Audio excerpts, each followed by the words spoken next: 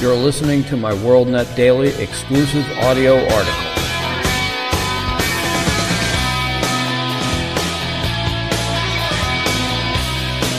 Today's WorldNet Daily exclusive audio article is entitled Trump supporters and conservatives are Rodney Dangerfield.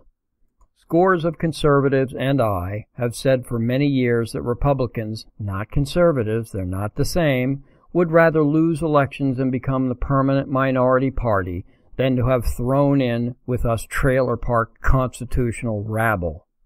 And it's true. The spineless, stand for nothing Republican Party really does believe that we true conservatives are an inferior breed. Not that we're necessarily bad people, it's that we have conviction. We stand for something, have principles and values, and won't compromise them at the drop of a hat. In other words, we just don't get how things are done, etc.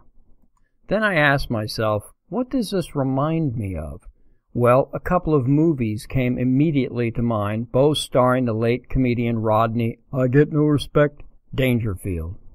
In the couple of movies that came to mind, Caddyshack and Back to School, Dangerfield plays a similar character, a blue collar guy who made it big yet is still unaccepted by the country club and academic elite snobs. Does any of this strike a familiar note? It should, for the Republican Party is the country club and academic elite snobs.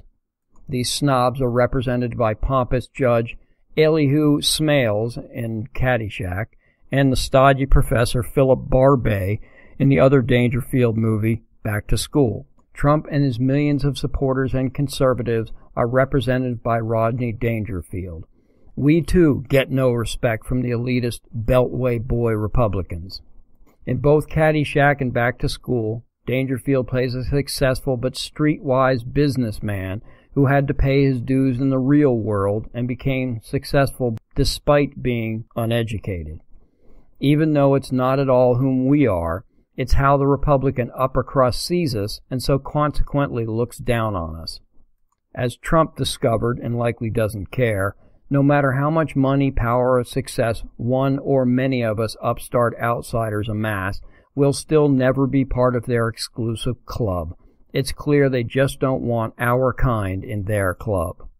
And when the dust settles after this last election cycle, you can bet that these same elitists will blame the conservatives for the election loss.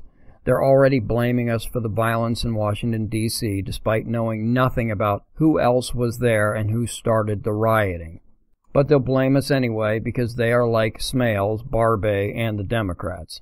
Republicans have zero self awareness that they did anything to lose the presidential and the Georgia Senate races, and worse, had zero interest in investigating the multitude of voter irregularities that many forensic experts uncovered.